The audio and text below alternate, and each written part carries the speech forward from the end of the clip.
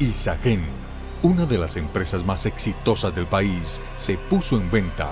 Necesitamos construir infraestructura moderna que requiere el país. Lo que uno no sabe es si la mejor fuente de recursos para esta necesidad es precisamente vender una empresa como Isagen. El objetivo del gobierno es vender la participación mayoritaria que tiene en la empresa. Nosotros vamos por el paquete, que son 4.5 billones. ¿Cuál es la verdadera intención del gobierno nacional al vender su parte de Isagen? ¿Es el mejor momento para entregarle al sector privado una de las empresas más rentables del país? Este martes, a las 9 de la noche, espere un análisis a fondo.